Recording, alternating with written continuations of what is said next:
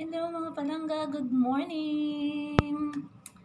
Ah, day 4 natin ngayon sa ating sa aking ano, quarantine.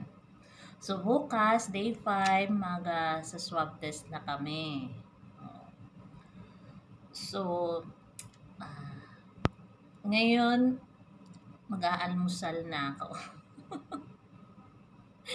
Kanina pa yung almusal ko dumating pero natulog pa ako. Tapos naligo pa. Tapos gawa-gawa ng kung ano dyan ang gagawin. Dito mga palangga, yung breakfast ko. Yan. Ang sarap no. Okay na to sa akin, mga palangga. Sapat na to. Yan. Okay na to sa akin. Lalo-lalo na is my kasamang kape. Ayan, kape natin. Hindi makita yung kape natin. Ayan, ayan si kape. Ayan. Ayan. Ang nakakabusog dito sa akin is yung kape. Panay ako kape. Buong araw walang magawa, nakaka-boring. So tara mga palangga, kung hindi pa kayo kumain, tara na, kain na tayo. Sabayan niyo ako. Ito yung aking breakfast na uh, fried rice. Kung sa amin pa ng mga Ilonggo is kalo-kalo. Mm. At saka is uh, chorizo. Chorizo, longganisa, ganun ba yon? Alam mo lang kasi is chorizo na pa, ano eh. Same lang yun siguro ah. Chorizo at saka longganisa. Ganon din din yun siguro. Ayan.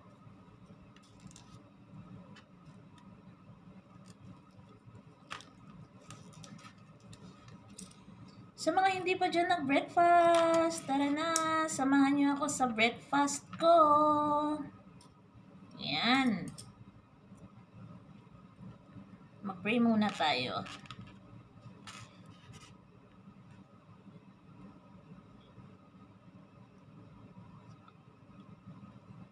Amen. Kain na tayo ng panangga. Ayan.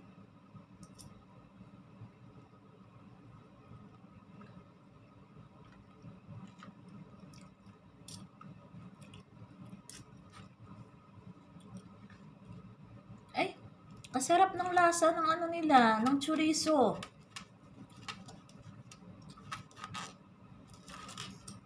Sarap.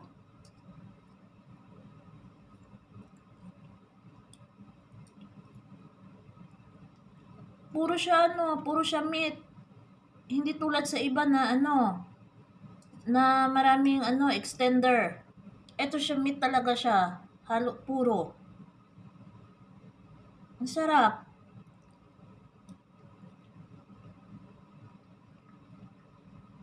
Mm.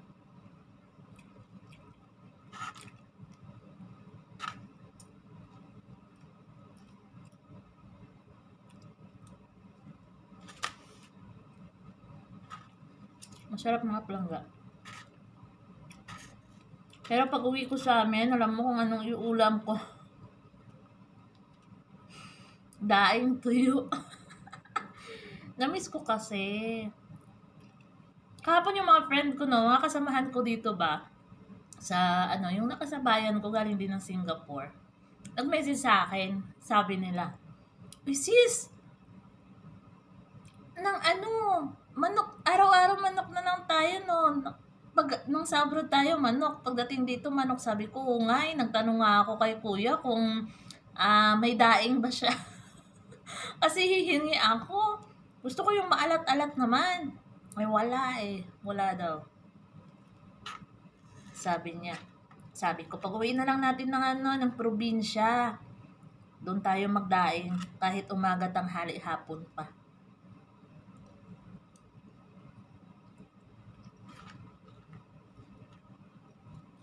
Nung sa ano talaga ako,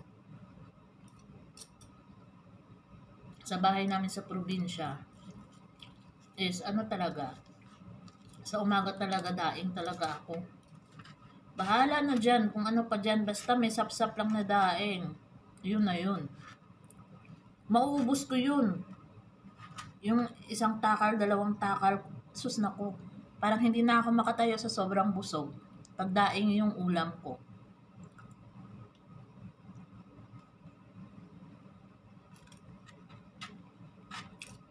Namiss ko talaga.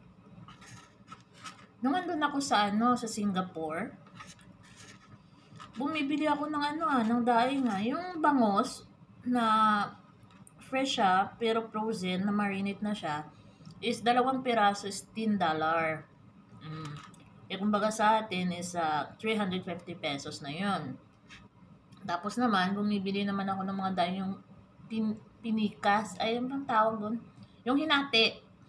Ah, mga ganito lang siya siguro kalaki. Apat na piraso is ah, 5 dollar. Meron ding danggit, ilang piraso lang, 10 yata, is, ah, is 5 dollar din. Pero yung bili-bili ko yung hinati na ano, nadaing yung mga tag ganito lang siya. Yung mga ganito lang siya. Yan. Kalapad. Kasi masarap kasi yung bawat kain mo medyo may may maalat pa kung sanay ka sa maalat na ano na pagkain.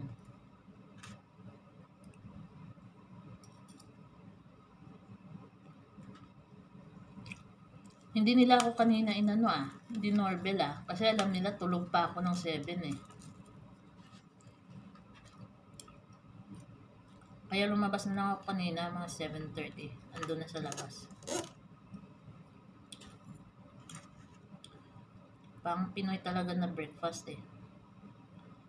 Longganisa. May kapares tong mga palanggan na ano, na itlog. Kaso allergy nga ako sa itlog, kaya ito na lang.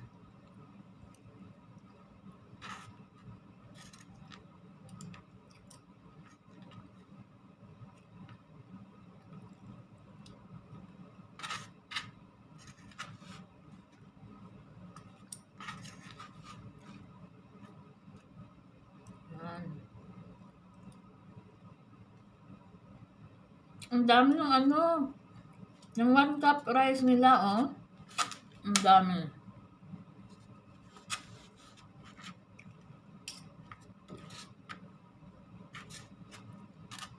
Ang sarap ng fried rice na maraming garlic.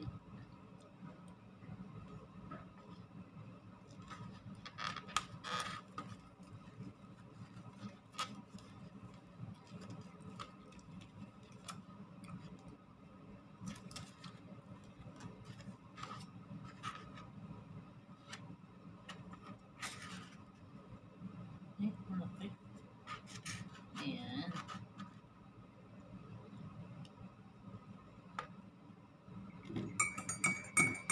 Pa nga.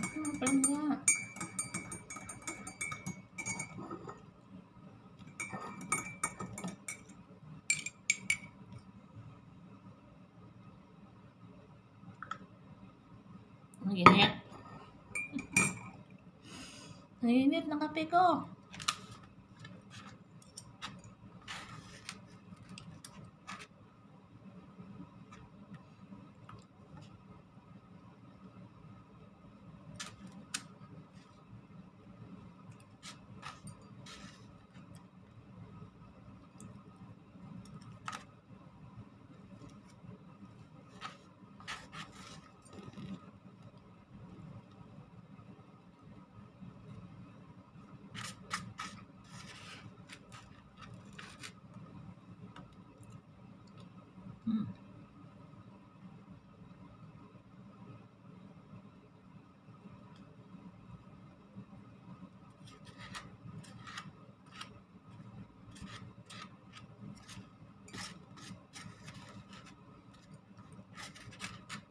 Busog na yata ako mga palangga.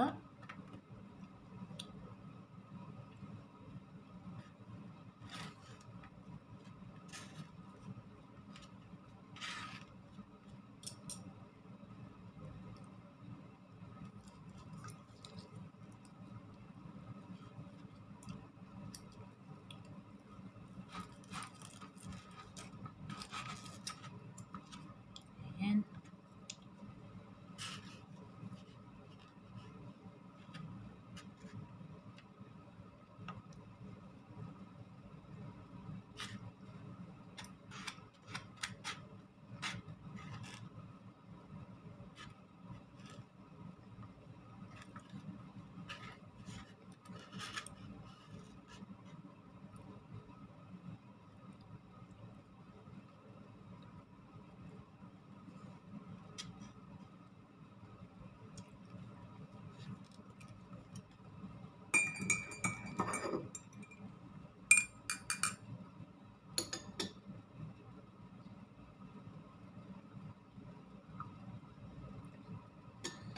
Sarap ng kape. So hanggang dito na lang tayo mga palangga. thank you, thank you so much sa pagsama sa akin sa aking breakfast. Thank you, thank you for watching. Bye-bye. Magkape na ako.